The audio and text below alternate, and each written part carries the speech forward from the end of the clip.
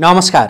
आदरणीय दर्शकवृन्द आजको प्रेसको यो अर्को एउटा भिडियो संवादमा यहाँहरूलाई धेरै स्वागत छ। म रोहित भण्डारी। दर्शकवृन्द प्रजातन्त्र दिवसको अवसर पारेर राजा ज्ञानेन्द्र शाहले जारी गरेको शुभकामना सन्देशले यति बेला राजनैतिक वृत्तमा तरङ्ग ल्याएको छ।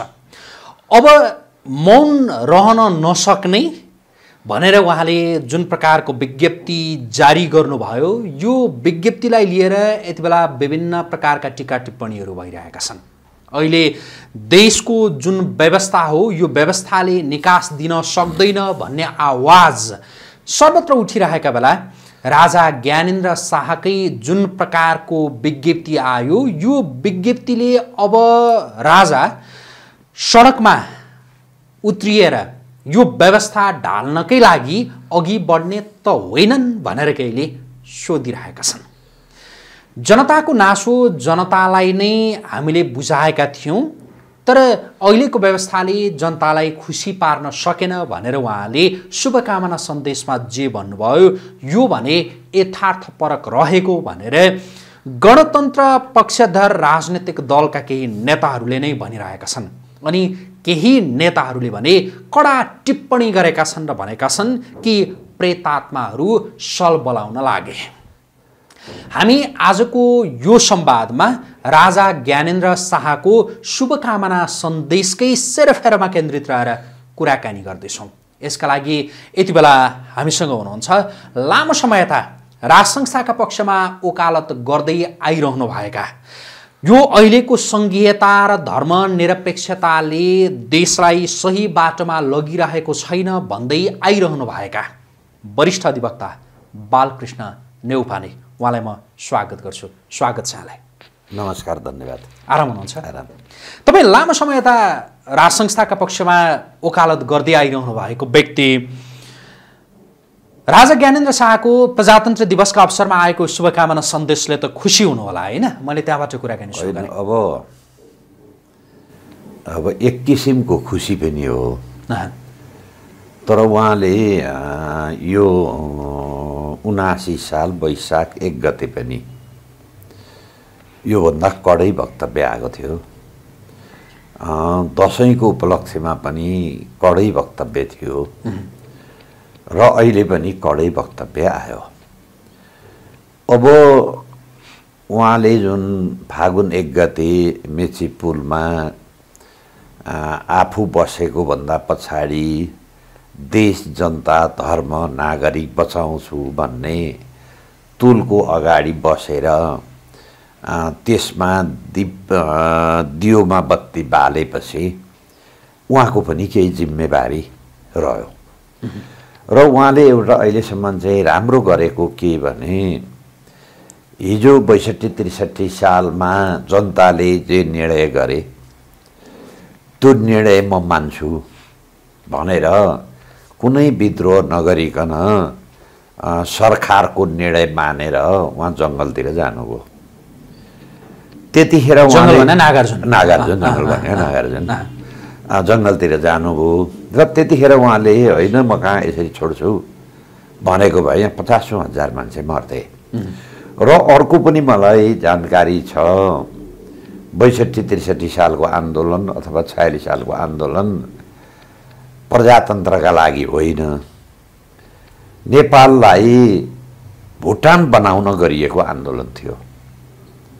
जुन कुरो राजा ज्ञानेन्द्रलाई बङ्गलादेशमा भारतका प्रधानमन्त्री मनमोहन सिंहले तपाईँ परराष्ट्र रक्षा र चाहिँ प्राकृतिक स्रोत जल स्रोत चाहिँ हामीहरूलाई जिम्मा लाउनुहोस्। अब भुटान यस्तो सम्पन्न देश भएर बसिया छ। भन्दाखेरि उहाँले त्यसलाई इन्कार गर्नुभयो। त्यो इन्कार गरेर उहाँ अस्ट्रेलियातिर हिँड्नुभयो। एक घन्टाको फ्लाइटमा भारतका प्रधानमन्त्री दिल्लीमा आएपछि अनि उहाँले रलाई आदेश दिनुभयो। त्यसपछि नेपालमा तपाईँको आन्दोलनको आँधीबेरी आयो। र त्यति मात्रै होइन अनि दस बाह्र वर्ष पन्ध्र वर्ष उहाँले सचेत गराउनु भयो। तर जुन चुप्प लागेर अथवा जुन सरकारलाई झगझगाउने मात्रै काम गर्नुभयो अब चाहिँ जनताले के निष्कर्षमा पुगे भने अब यही रूपमा छोड्ने यो व्यवस्थाका यी नेतालाई भन्ने हो भने अब नेपालै नरहन सक्छ। हामी नेपाली पनि नभन्न न भन्न नपाउन सक्छौँ।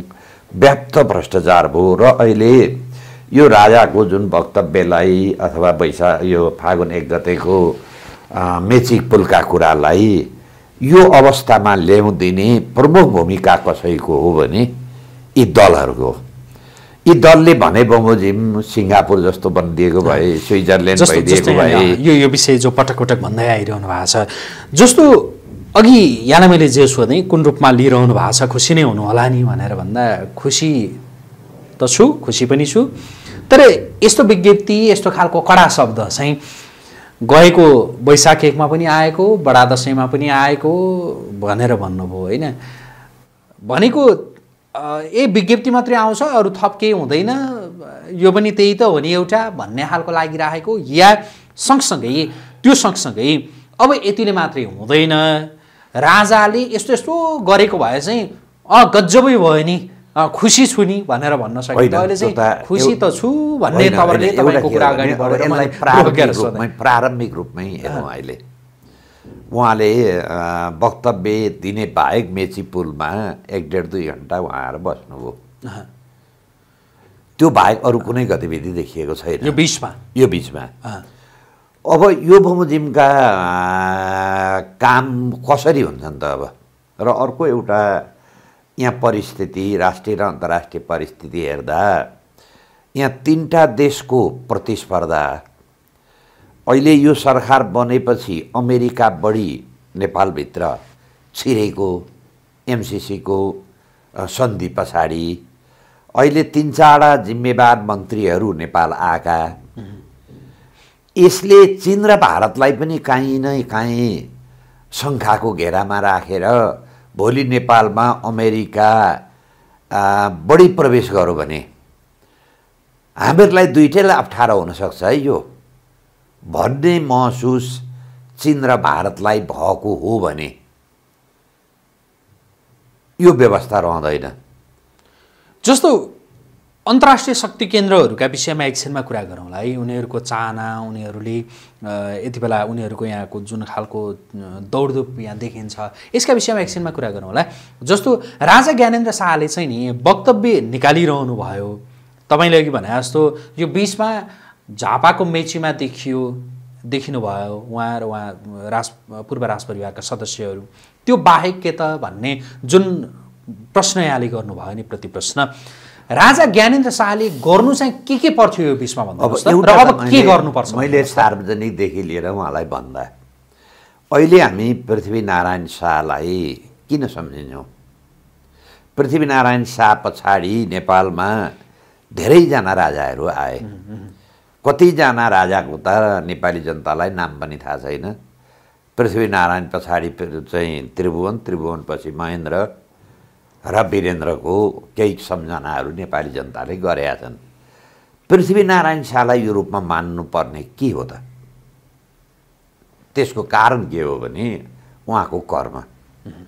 कर्म भनेको बाइसी चौबिसी राज्यको रूपमा रहेको नेपाललाई आफै राजा बन्दुक लिएर युद्धको अग्रपन् पङ्क्तिमा लडेर त्यति मिहिनेत गरेर नेपाललाई एकीकरण गर्नुभयो कति बिस बाइस वर्ष तेइस वर्षमा उहाँको परलोक भयो।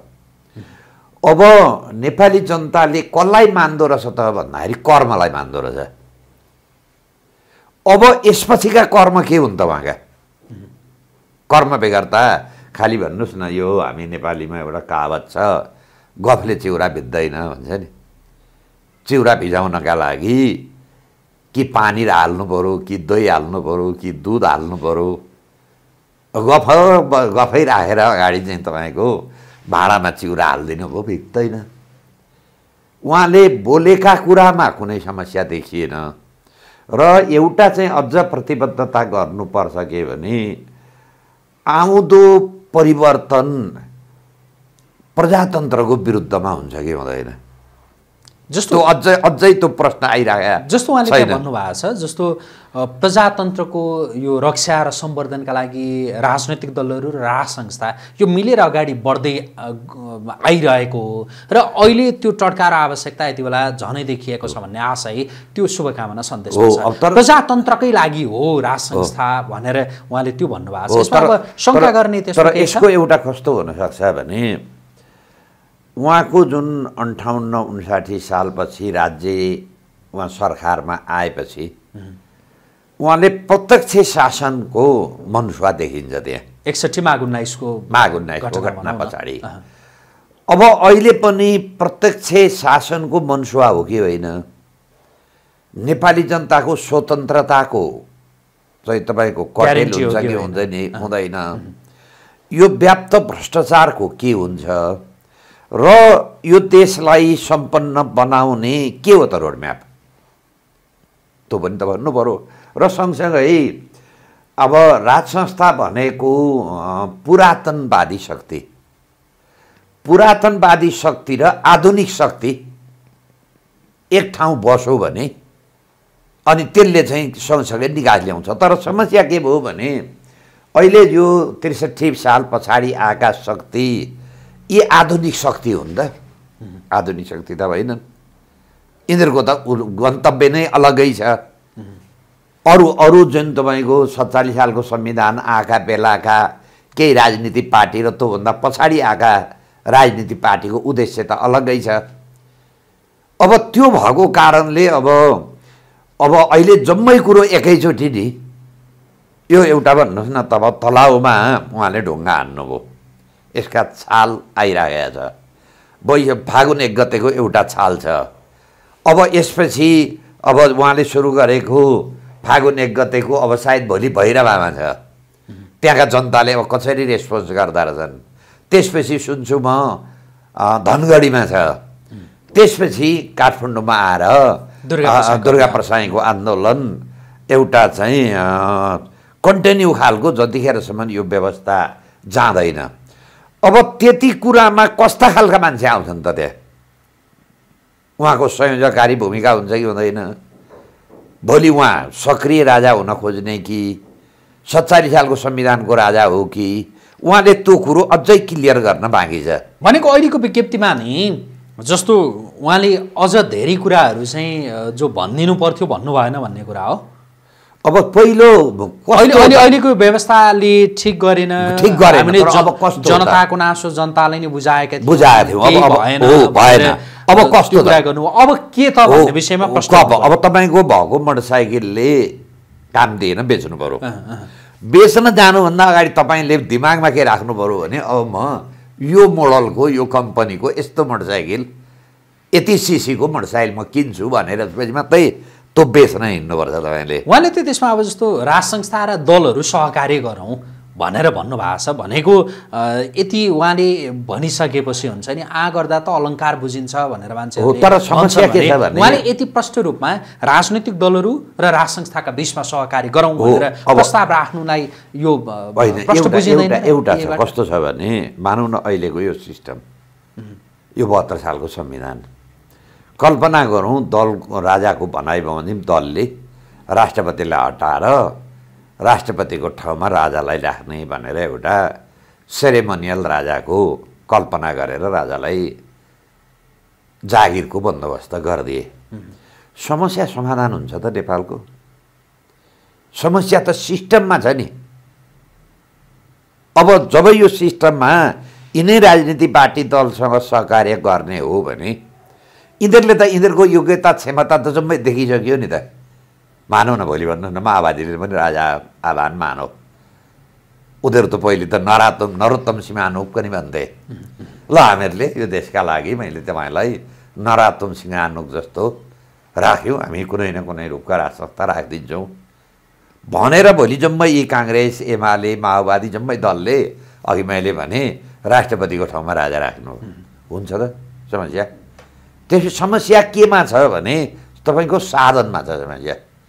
उहाँले प्रष्टसँग भन्नु पर्थ्यो सत्तालिस सालको संविधान खारिज गरेर आएको यो यो व्यवस्था र यो संविधानले मैले जुन पोइन्टमा मैले चाहिँ जनताको नासो जनतालाई बुझाएँ त्यो पोइन्टबाट यता चाहिँ गलत भयो है।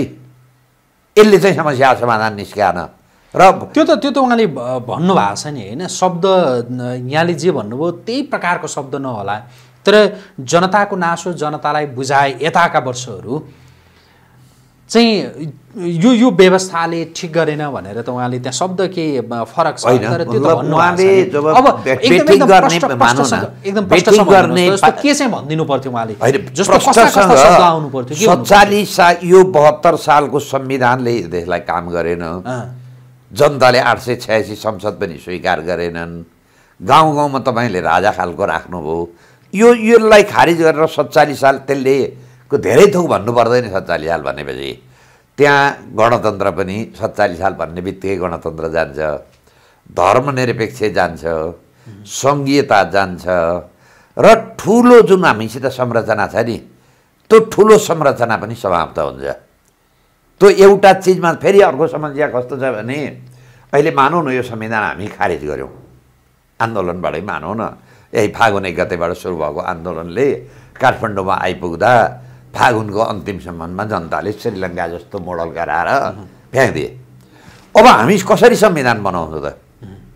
अहिले हिजो फेरि एक दिन पनि हामी कानुनविहीन अथवा संविधानविहीन अवस्थामा यो देश राख्यौँ भने यति बढी संसारका मान्छेको यहाँ स्वार्थ छ त्यति बढी आउँछन् एक मिनट पनि संविधानविहीन नेपालमा राख्न सकिँदैन।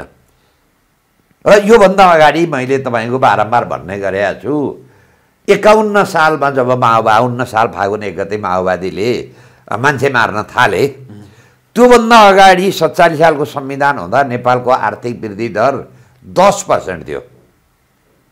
त्यतिखेर तपाईँलाई थाहा होला यो स्ट्यान्डर्ड चार्टर ब्याङ्कको ब्याङ्कको सेयर एक सेयरको भाउ नौ हजार थियो। कति राम लामो चाहिँ राम्रो चाहिँ आर्थिक वृद्धि दर भएको रहेछ। र संसारको सबभन्दा राम्रो संविधान भन्थे। तर दुर्भाग्य एमाले र काङ्ग्रेसले आफैले राम्रो भने आफैले लगाएर सिद्ध्याए।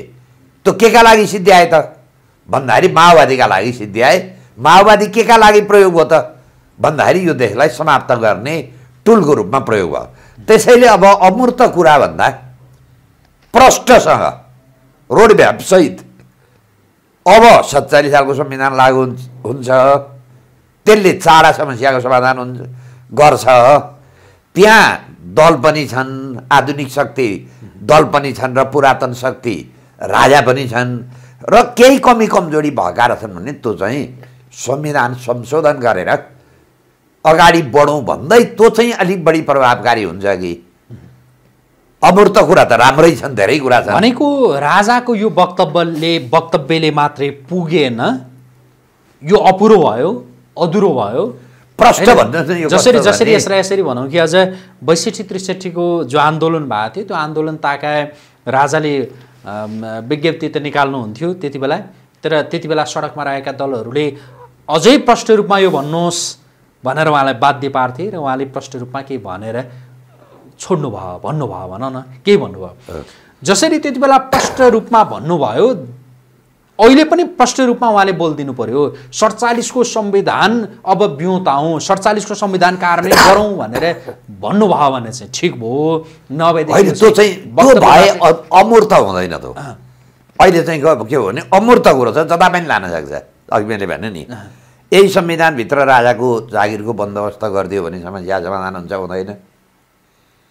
यही भयो भने? एकैछिन है। अब जस्तो यहाँले त्यो भनिसक्नुभयो अहिलेको अहिलेको सिस्टम खराब हो। तपाईँले अघि भन्नुभयो एउटा मोटरसाइकल जो बिग्रिसकेको त्यसको इन्जिन पाठ पूर्जाका विषयमा इन्जिन पो के हो। त्यतातिर पो हेर्नु पऱ्यो भने जस्तै मानिलिउँ। तपाईँहरू राज संस्था भनेर भनिराख्नु भएको छ। अहिले गणतन्त्र पक्षधर दलका केही नेताहरू पनि राजालाई राजाको यो विज्ञप्ति वक्तव्यका प्रति त्यति धेरै असहमत छैनौँ भनेर भन्न थालेका छन् केहीले। अहिलेकै अवस्थामा राजालाई राष्ट्रपतिको ठाउँमा ल राजालाई राख्ने भनेर सहमति भयो भनेदेखि त्यो स्वीकार्य हुँदैन। त्यो स्वीकार्य हो त्यो मानिन्न। किनभने यो चाहिँ राजाले खालि आफ्नो दुनु सच्याउने काम मात्रै भयो। देश र जनताको समस्या समाधान भएन।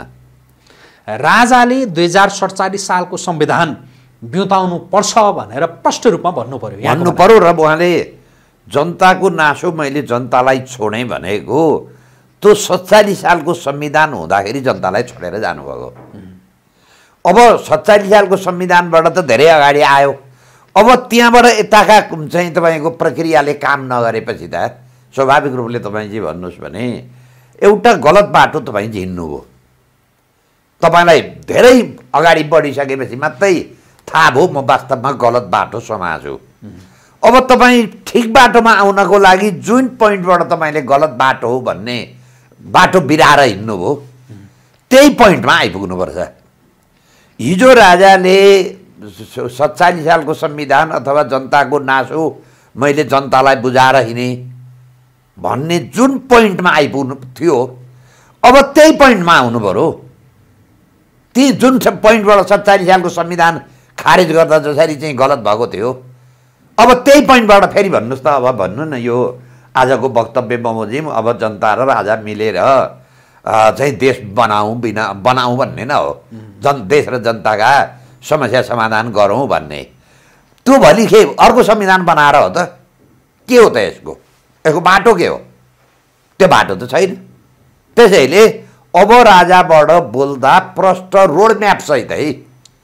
योभन्दा अगाडि भन्नुहोस् न अहिलेसम्मका करप्सनका जति प्रश्नहरू उठे त्यो करप्सनका प्रश्न भोलि यी राजनीतिक दलले राजाको कुरो मानेर हामी जनता र राजा एक भयौँ ल तपाईँको पनि जागिर हालिदिउँ यही संविधानमा जाउँ भन्ने हो भने ती अगाडिका कुरा त अगाडि आउँदैन।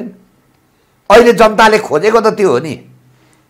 रोड म्याप चाहियो रोड म्याप हो। तपाईँहरूले खोजेको चाहिँ राज संस्था मात्रै होइन। राज संस्था मात्रै होइन खोजेको। होइन हामीहरूले अब जस्तो ठ्याक्कै राज संस्था मात्रै खोजेको राजतन्त्र खोजे होइन। राजतन्त्र होइन राज संस्था मात्रै। जुन सत्तालिस सालको संविधानले जुन हैसियत राजालाई दिएको छ त्यही हैसियत हो। अब त्यही हैसियत हो भने नि ल सडचालिसको संविधान मानिनु ल हो। होइन? सडचालिस यता त्यो संविधान कति वर्ष कार्यान्वयन भयो? सत्तालिस साल यता तपाईँ भन्नु न पन्ध्र सोह्र वर्ष। 15 होइन 16 दुईवटा संविधान पन्ध्र सोह्र बहत्तर सालको संविधान आठ वर्ष भयो सात वर्ष। त्रिसठी सालको संविधान। बहत्तरसम्म भने चाहिँ तिन दुई पाँच वर्ष त त्रिसठी। सडचालिसदेखि त्रिसठीसम्म त चल्यो नि होइन। त्रिसठीमा अन्तरिम संविधान बनाइयो सडचालिसदेखि त्रिसठीसम्मको जो संविधान थियो त्यो सडचालिसको संविधान बिउतिएर नै सबै समस्याको छुमन्तर हुन्छ हुन्थ्यो भनेदेखि त नि त्यो सडचालिसदेखि त्रिसठीसम्म जे जे भयो नि देशमा खै गरेन त समस्याको समाधान भएन। यस्तो छ यो चाहिँ कस्तो छ भने गर्ने नियतले भएकै चिज होइन यो जस्तो भनौँ न। एकाउन्न बाहन्न साल फागुन एक गतेसम्म नेपालमा समस्या थिएन। सत्तालिस सालको संविधान निर्मल लामा अहिलेका माओवादीका नेता उनी पनि बसेर बनाए। काङ्ग्रेसका मान्छे थिए एमएलएका मान्छे थिए हिजो राजाका प्रतिनिधि पनि भएर भएर बसाए। मैले सत्तालिस सालदेखि अब तपाईँलाई ल्याएर आन्दोलनसम्म एकाउन्न सालसम्म भनौँ न एकाउन्नबाट त बाहुन्नबाट त माओवादीले मान्छे मार्न थाल्यो यो संविधान आफै हो भने सस्पेन्डको अवस्थामा बस्यो तर तर मैले मैले भनेको चाहिँ के हो भनेदेखि ल सडचालिसको त्यो संविधान बिउतिएर काम त्यो बिउतिँदाखेरि समस्याहरू देखिँदैनथे या देखिएका समस्या समाधान हुन्थे भने त त्यो बाहुन्नको माओवादी युद्ध नै सुरु हो अब पर्ने नि यो चाहिँ कस्तो कारण छ भने सत्तालिस सालको संविधानको आन्दोलनका लागि छयालिस सालको आन्दोलन चन्द्रशेखरले गणेश मानका घरमा आएर भाषण गरेपछि सुरुवात भयो। तर दुर्भाग्य भारतका लागि के भयो भने विश्वनाथ उपाध्यायले बनाएको संविधानमा दुईवटा कुरा भारतलाई चित्त बुझेन। एउटा कुरा नागरिकताको खुला नीति खोज्थ्यो जम्मै भारतीयहरूलाई चाहिँ सजिलैसँग नागरिकता ल्याउनु कुरो हुनुपर्छ भन्ने भारतको दृष्टिकोण थियो। उन्नाइस सालको संविधानभन्दा बढी कडा प्रावधान सत्तालिस सालको संविधानमा आए। अर्को कुरो भारतले के चाहेको थियो भने नेपालको जल स्रोत चाहिँ मेरै हिसाबमा प्रयोग हुनुपर्छ भन्ने थियो। सत्तालिस सालको संविधानले जल स्रोतलाई डबल लकमा लगेर हालिदियो। महाकालीको तपाईँ मै मै निवेदक भएको टनकपुरको विवाद हामीहरूलाई थाहा छँदैछ। र मेरो बुझाइ त कस्तो छ भने सत्तालिस सालका संविधानका तिनै दुईवटा राम्रा प्रावधानका विरुद्धमा माओवादी सिर्जना भएको थियो। अब माओवादीको आन्दोलन पुरा भएपछि तिनै दुईटा कुरा पहिले खुले। एउटा नागरिकता अन्तरिम संविधान आउनुभन्दा अगाडि माओवादीको चाहिँ तपाईँको पुनर्स्थापित संसदमा माओवादी सहितको उपस्थितिले नागरिकता ऐन आयो। जो अहिले चालिसदेखि पैँतालिस लाख विदेशी बढी भारतीय तिब्बतीय शरणार्थी बङ्गलादेशी शरणार्थीलाई नागरिकता दियो। त्यसपछिको द जल स्रोतको कुरो हेर्दाखेरि हाम्रा यिनै टुकुचा सुकुचा साना नदी नाला बाँकी होलान्। अरू मैले हामीहरूले बुझायौँ हिजो अरुण आयोजना वर्ल्ड ब्याङ्क लिएर जर्मनीले नेपाललाई अनुदानमा बनाउँदै थियो। त्यो आयोजना त्यतिखेरको एमाले यो विदेशीको दासत्व हामी स्वीकार गर्दैनौँ भनेर अरुण आयोजना वर्ल्ड ब्याङ्कबाट झिकेर फ्याँकिदियो। अहिले त्यो अरुण आयोजना भारतलाई दियो। अर्थात् यो बैसठी त्रिसठी सालको परिवर्तन पछाडि सरकारका गरेका काम हेर्दा कुन कुन चिजलाई आक्रमण गरो त भन्दाखेरि नागरिकता र जलस्रोत। भनेपछि त्यही दुइटाका लागि गरे रहेछ नि त। यो यो माओवादीको प्रयोग माओवादी जुन जुन सृजना भयो र अहिले बारम्बार माओवादीका भारतका चाहिँ भन्नुहोस् न तपाईँको जिम्मेवार मान्छे है। राष्ट्रपति प्रणब मुखर्जी रको हाकिम श्याम शरण लगायतले के भने भने यो माओवादी भनेको त मेरो चिडिया हो है हामीहरूले पालन पोषण गरेर यहाँ पुर्याइदिउँ र मलाई अर्को एउटा घटना थाहा छ। अब यस्तो रहेछ तपाईँले भनेअनुसार सडचालिसको जो संविधान प्रारम्भ भयो प्रारम्भ भएको केही वर्षमै सडचालिसको संविधानमा भएका केही राम्रा प्रावधान जो हटाउन जो नमान्न जसबाट खेल्नका लागि भारतले माओवादी उब्जा तपाईँले भने हो। भारतले खेल्यो खेलो अब जस्तो सडचालिसको त्यो संविधान ल अहिले फेरि बिउताइयो अरे फेरि खेल्न सक्छ नि त के गर्ने त भारतलाई होइन अब यसमा पनि त- यसमा- पनि त? प्रष्ट होइन, रोडम्याप चाहिएला। होइन, तपाईँहरूसँग होइन, मेरो भएको मेरो रोडम्याप भनाइ चाहिँ के कस्तो भन्नुहोस् हो त? भने नि पहिले हामी नेपाली अरूका लागि काम गर्ने हामी माध्यम भन्नु भएन। एकछिनलाई भन्नुहोस् मलाई ती मैले अघि ल्याउँदै थिएँ। जब माओवादी द्वन्द्व सुरु भइसकेपछि गिरिजा प्रसाद कोइरालाले दुईजना मान्छेलाई दिल्लीमा बाबुराम र प्रचण्डसँग कुरो गराउन पठाउनु हो एकजना गोविन्दराज जोशी एकजना शेखर कोइराला। दुईजनाले भारतमा कुरो गरेपछि माओवादीले के भने भने बाबुराम र प्रचण्डले हामी नेपाली सेनालाई संसद अन्तर्गत राखिदिनुहुन्छ भने संविधान संशोधन गरेर हामी यही सत्तालिस सालको संविधानमा आउँछौँ भने। तर शर्त के राखे भने हामीहरूलाई यो शर्त मान्न भनेर काठमाडौँ बोलाइसकेपछि फेरि हामी चाहिँ यहाँ चाहिँ के हो भने काठमाडौँ छोडेर जानु नपरोस् है। त्यो शर्त मानियोस् भने। आएर गिरिजाप्रसाद कोइरालालाई दुईजनाले भने अब माओवादी त मिल्ने भए यिनको दुईवटा शर्त थियो। त्यही दुईवटा शर्त भने अनि गिरिजाप्रसाद कोइरालाले अनि आफूले माओवादीलाई को ठुलो बहादुरी गरेको सम्झेर त्यतिखेर अटल बिहारी वाजपेयी भारतका प्रधानमन्त्री थिए। अनि गिरिजाप्रसाद कोइरालालाई अटल बिहारीलाई फोन गरे। माओवादीको समस्या समाधान हुने भयो। माओवादी नेपाली सेनालाई संसद अन्तर्गतमा ल्याएपछि मान्ने भए भनेर स्याबासी पाउनका लागि उनले अटल बिहारीलाई फोन गरे। तर अटल बिहारीले के भने अरे भने माओवादी संविधान सभाभन्दा तल मान्दैनन्। अब माओवादी को रहेछ? माओवादी अटल बिहारी रहेछ कि माओवादी बाबुराम र प्रचण्ड रहेछ? किन यो काम गरियो त? भन्दाखेरि ऊ सिक्किममा जसरी संविधान सभाबाट देश विलय गरेको जुन उसको अनुभव थियो त्यही अनुभवका लागि दुईवटा मान्छे प्रयोग भएका मान्छे त होइनन्। अनि त मैले भने कि ल भारतले त्यस्तो त्यस्तो खेल खेल्दो रहेछ। सडचालिसको सडचालिसको सडचालिसको संविधान जस्तो होला। जस्तो अहिले तपाईँले भनिराख्नु भएको छ सडचालिसको संविधान त्यो बिउताउने हो भनेदेखि चाहिँ धेरै समस्याको समाधान हुन्छ भनेर। अँ। अब त्यो भारतले खेल्न नदिनका लागि सडचालिसको संविधानले नि रोकेन रोक्यो त के गर्ने त भने एकछिनलाई भन्नु न। यो भनेको चाहिँ हाम्रो। परराष्ट्र परराष्ट्र जो मामलाका। सन्दर्भमा हाम्रो नीति प्रष्ट भएन त्योभन्दा पनि हामी? हामी सत्ताका लागि जे गर्न पनि तयार भयौँ दुईवटा मान्छे एकछिनलाई अहिले कल्पना गर्नुहोस् त। माओवादीले बाहन्न साल फागुन एक गतेबाट मान्छे मार्न नथालेको भए सत्तालिस सालको संविधानमा कुनै बाधा विरोध नआएर स्मथली चल्न पाएको भए अहिले नेपालको अवस्था कहाँ पुग्छ भन्नुहोस् त? कल्पना गर्नुहोस् त आँखा चिम्लेर अब यी समस्या कसले सिर्जना गरौँ त? एकछिनलाई भन्नुहोस् न त। माओवादी त माओको नाम राखेर बसेका मान्छे। कहाँ बस्दा रहेछन् त? रावका देशमा बस्दा रहेछन्। यो त म के भन्छु भने प्रोक्सी वार तर त्यतिखेर अब त फेरि अटल बिहारी छैनन्। हिजोका जस्ता जर्ज फर्नान्डिस पनि छैनन्।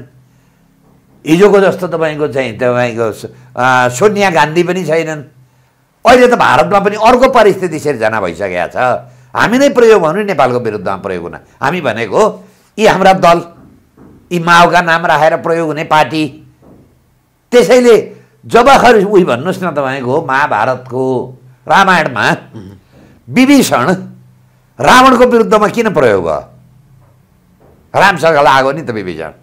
जे परिणाम विभीषण रामसित लागेका कारणले लङ्काको भयो त्यही हालत तपाईँको विभीषणको काम कसले गरे भन्दाखेरि प्रचण्ड र बाबुरामले गरे। अब यसले समस्या निकालो त निकालेन नि समाधान गरेन नि त। विदेशीको इसारा बमोजिम विदेशीका लागि विदेशी भूमिमा बसेर गरेको काम त गलत हुँदो रहेछ नि। अब अरू मान्छे त त्यसरी जाँदैनन्। त्यसैले यो हामी नेपाली हो समस्या। हामी सत्ताका लागि जे पनि गर्न तयार छौँ है। अहिलेका लागि त माओवादीलाई नै भनौँ न। होइन पात्र त हुन्छ नि। मैले भनेको चाहिँ पात्रै बहत्तरको संविधान रहे पनि पात्र यिरे यस्तै हुने रहेछन्। या सडचालिसको संविधान रहे पनि पात्र यिरे यस्तै होला नि तपाईँले भने जस्तो। अनि त्यो समस्याको समाधान एउटा समस्या हरेक आउँछ। जस्तो के गर्ने त? कसरी अगाडि बढ्ने? त्यो पहिले हामी एक हुने पहिले। उही भन्नुहोस् न रावणसित विभीषण मिलेको भए त लङ्का जाँदैन छोरी अँ, हामी आफै विभीषण तयार हुन त थाल्यौँ नि त। विभीषणको रूपमा प्रयोग को हो भन्दाखेरि बाबुराम र प्रचण्ड प्रयोग भए। जसले अहिले हेर्दाखेरि यी दुई चार दिन अगाडि परराष्ट्र सचिवजी आउनुभयो। शासन त जम्मै उहाँकै हातमा रहेछ।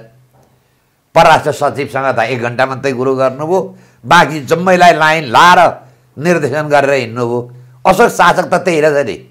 जस्तो तपाईँले जसलाई भन्नुभयो ऊ मात्रै नभएर यो पछिल्ला केही साता केही महिना यता हेर्ने हो भनेदेखि विभिन्न शक्ति राष्ट्रका अधिकारीहरूको त्यो नेपालमा बाक्लो दौडधुप देखियो।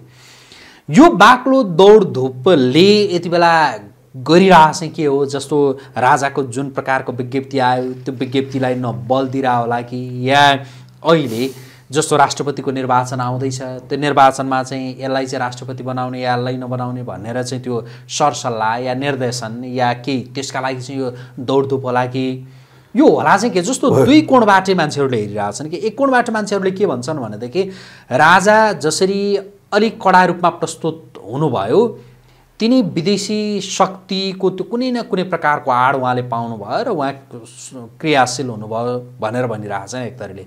अर्का थरीले होइन। ती शक्तिले अहिलेका दलहरूलाई चाहिँ यहाँभित्र चाहिँ खेलेर गए। अहिले राष्ट्रपति कसलाई बनाउने या कसलाई नबनाउने भन्ने विषयमा चाहिँ खेले त्यो भा त्यो हो भनेर भनिरहेछन्। यो विदेशी शक्ति केन्द्रहरूले नि यति बेला गरिरहेछ के होला होइन? एउटा के हो भन्नुहोस् न अमेरिका जो बढी तिनवटा कि चारवटा जिम्मेवार मान्छे उच्च ओदाका मान्छे यहाँ आए। यो आउनुभन्दा अगाडि एमसिसी पास भयो। त्यो एमसिसी पास गर्ने र अहिलेको सरकारमा बस्ने मान्छे हिजो अमेरिकालाई के भन्थे भारतलाई के भन्थे भन्दाखेरि अमेरिकन साम्राज्यवाद र भारतीय विस्तारवाद भन्थे। अन्तत्वगता यिनीहरू त्यसैका एजेन्ट रहेछन् नि। अब अहिले त्यो जुन टाढाको हाम्रो अमेरिकाको शक्ति किनले के बुझेछ भने अहिले मेरो एजेन्ट सरकारमा भएका बेलामा अब मैले यहाँ ल्याएर ब्यारेकै राख्न सक्छु कि? अफगानिस्तानकै काम गरिदिन सक्छु कि? भनेर उसको अलिकति बढी यहाँ दबाब परेको हुनसक्छ। अब यसले असर गर्नेलाई तपाईँको असर गर्दा उत्तर र दक्षिण दुइटालाई गर्छ। सायद उत्तर र दक्षिणको पनि घैँटामा घाम के लागेको हुनसक्छ भने हामी नेपालको इस्युमा झगडा गर्न थाल्यौँ भने त्यो झगडाको फाइदा लिएर अमेरिका आएर यहाँ चाहिँ बस्दियो भने अन्तत्व गत्व हामीहरूलाई ढिलो चाँडो पालै पालो नोक्सान गर्ने हामीलाई नै हो। यो यो ठाउँमा त्यो ठुलो दादा ल्याएर नराखौँ। भन्ने महसुस भएको पनि हुनसक्छ अब त्यो महसुसको कारणले यो फागुन एक गते अथवा यो हिजोको प्रजातन्त्र दिवसको वक्तव्यलाई काहीँ न काहीँ त्यसले काम गरेको पनि हुनसक्छ अर्थात् हिजो भारतले जे गल्ती गरो गरेँ त्यो गल्ती गर्नु हुने रहेछ है। जस्तो भन्नुहोस् अफगानिस्तान। अफगानिस्तानमा रुस र अमेरिकाको द्वन्द्वले राजा गए। त्यसको मार अमेरिकाले पनि बिहोर्नु पऱ्यो त्यसको मार तपाईँको चाहिँ उसले पनि बिहोर्नु पऱ्यो अफगानिस्तान त त्यो हालत भयो। संसारले अफगानिस्तानको मार बिहोर्नु पऱ्यो नि। अब नेपाललाई पनि त्यही अवस्था लान खोज्दा अर्को अफगानिस्तान हुनसक्छ अर्को युक्रेन हुनसक्छ। हामीले बरु यसलाई दुईजना मिलेर यसलाई व्यवस्थापन गरेर अगाडि बढाउँ भन्ने उहाँहरूको सोचाइ आएको पनि हुनसक्छ नि त। त्यो आएको भने त नराम्रो कुरो भन्न सकिँदैन त्यसलाई। हामी अब यहाँसँगको कुराकानीको अन्त्य अन्त्यतिर छौँ। जस्तो नि यो राज संस्था पुनस्थापनाको कुरा सङ्घीयता खारेजी या धर्मनिरपेक्षता खारेजीको सवालमा कुरा गरिरहँदा तपाईँहरू त्यो पक्षधर हुनुहुन्छ राज संस्था पक्षधर सङ्घीयता खारेजी धर्मनिरपेक्षता हुनुहुँदैन भन्ने पक्षमा हुनुहुन्छ तपाईँ। जस्तो नि नेपाली जनताले चाहेर या राजाले चाहेर या भनौँ यहाँका जो ठुला साना सबै दलहरूले चाहेर यहाँको अहिलेको व्यवस्था परिवर्तन हुन सक्छ या यतिले मात्रै होइन यहाँका जो सबै जो जसले चाहुन् सबैले चाहेर पनि हुनेवाला केही छैन यसमा अन्तर्राष्ट्रिय शक्ति केन्द्रहरूले पनि चाहनुपर्छ भन्ने हो। एउटा कस्तो छ भने नेपाली जनताले चाहेपछि केही लाग्दैन। मैले किन किन सोधेँ भने जस्तो जस्तो पहिला जुन यो बैसठी त्रिसठीको आन्दोलनपछि जे जे भयो त्यो नेपाली जनताले चाहेर होइन त्यसमा विदेशी शक्ति केन्द्रको हात थियो र यो भयो भनेर भनिन्छ। त्यसै गरी अहिले अब यो व्यवस्था माथि जो प्रश्न त उठिरहेको छ यो व्यवस्था तलमाथि केही भयो भनेदेखि यसमा नेपाली जनताले चाहेर भएको या विदेशी शक्तिहरूले पनि भएको एउटा के भन्ने जस्तो सोध्नुपर्ने हिजो हिजो बैसठी त्रिसठी सालको परिवर्तन गर्दा एउटा शक्तिलाई उसले पालन पोषण गरेको थियो। रेकर्डबाट देखिन्छ। अब त्यो व्यवस्था गइसकेपछि त्यो पालित पोषित शक्ति यहाँ आएर बस्यो। त्यो त घाम जस्तै सर्कल हुन्छ अहिले यो व्यवस्थाका विरुद्धमा कोही गएर चाहिँ तपाईँको भारतमा भारतका बन्दुक ल्याएर भारतमा निर्वासन बसेर अनि एकाउन्न बाहन्न सालमा झुट्टा कुराको चाहिँ तपाईँको माग राखेर कोही छ त छैन नि। जति आवाज उठेको छ देशभित्रैबाट उठाएको छ कसैले त्यसमा कसैको चाहिँ तपाईँको समर्थन छैन कसैको सद्भावना छैन र बाँकी विश्वले अथवा हाम्रा छिमेकीले पनि जनताको भावनाभन्दा बाहिर जान सक्दैनन्। र अहिले हिजोको परिवर्तन चाहिँ किन गलत भयो त? भन्दाखेरि त्यो विदेशीको इसारामा भएको थियो। अनि त्यसले गलत किनभने काम गरिदिनु पऱ्यो नि। उसलाई भन्छ नि भोलि ए मैले यत्रो पालेँ यत्र बन्दुक दिएँ अहिले मैले यति भनेको पनि मान्दैनस्। भनेपछि स्वाभाविक रूपले उसको उसले गर्नु पर्यो तर अहिले जे यो आन्दोलन जति चाहिँ तपाईँको धारणा जे भन्नुहोस् यो त यस यसको चाहिँ जरो त नेपालभित्रै छ नि। त्यो भएको कारणले अबको यसको नाताले परिवर्तन भयो भने चाहिँ यो विदेशीको इसारामा भएको होइन। सद्भावना हुनसक्छ सद्भावना हुनु र त्यसमा ल प्रत्यक्ष संलग्नता हुनु। त्यो अलग अलग कुरा हो। अन्तिम अन्तिम जिज्ञासा आशा नेकपा एमालेका केन्द्रीय सदस्य दुर्गा प्रसाईले नागरिक बचाओ महाअभियान भनेर एउटा अभियान सुरु गर्नुभएको छ। त्यो अभियान सुरु भइसकेपछि केही राज संस्था पक्षधरहरू एकदम अत्तालिए सिधा भन्दा केही राज संस्था पक्षधरहरू झस्किए। केही राज संस्था पक्षधरहरू खुसीले उफ्रिए। तपाईँ एकजना राज संस्था पक्षधर तपाईँ खुसी हुनुहुन्छ या तपाईँको यसमा कुनै टिप्पणी छैन या तपाईँको के छ अन्तिममा मैले एउटा। मैले बोलेका मैले भनिराखेका एजेन्डा जसले उठाएर लान्छ म त्यसमा खुसी छु। अब कमसेकम उठो नि त। हिजो म एक्लै बोल्थेँ पछि मैले बोल्ने सङ्ख्या थपाएको थिएँ। अहिले त्यो सङ्ख्या बजारमा गयो नि। यो यो विचारमा त राजा पनि सहमत भएर आयो नि त। त्यो भएको कारणले मेरो एजेन्डा मैले नै पुरा गरेर हिँड्नु पर्थ्यो यो अरू कसैले लिएर हिँड्नु हुँदैन भन्दैन म। यो मेरो एजेन्डा होइन देश र जनताको एजेन्डा हो। त्यसैले जोसुकैले हिँड्नुहोस् यो यो एजेन्डामा भोलि प्रचण्ड आएर होइन। तपाईँले भनेको त ठिक रहेछ। हामी चाहिँ गलत बाटोमा हिँडेर छौँ। नेपालमा त यो सत्तालिस सालको संविधान अथवा राजा धर्म नभइकन त हुने रहेछ भन्यो भने म पनि खुसी हुन्छु। यो यसले गर्नुपर्छ भन्नेमा छैन। जसले गरिदिए पनि हुन्छ। त्यसैले जो दुर्गा प्रसादजीले गरे उनी एमालेका केन्द्रीय सदस्य होलान् पहिले माओवादी होलान् त्यो उनका आफ्ना आफ्ना कुरा होलान्। तर सँगसँगै एउटा के हो भने रत्नाकर डाकु वाल्मिकी हुन पाउँदैन र। होइन सधैँ त्यो रत्नाकरलाई डाकुकै रूपमा राख्ने हो भने यता रामायण लेखिन्थ्यो र लेखिँदैन नि रामायण। त्यसैले मान्छेले म सुधार भएँ। हिजो भन्नुहोस् न प्रचण्ड बाहेक अरू केही नदेख्ने दुर्गा परसाई। त्यसपछि हजुरबाभन्दा बाँकी केही नदेख्ने दुर्गा परसाई। त्यही दुर्गा परसाईको अहिले अभिव्यक्त हेर्नुहोस् यो त राजा नभए हुँदैन।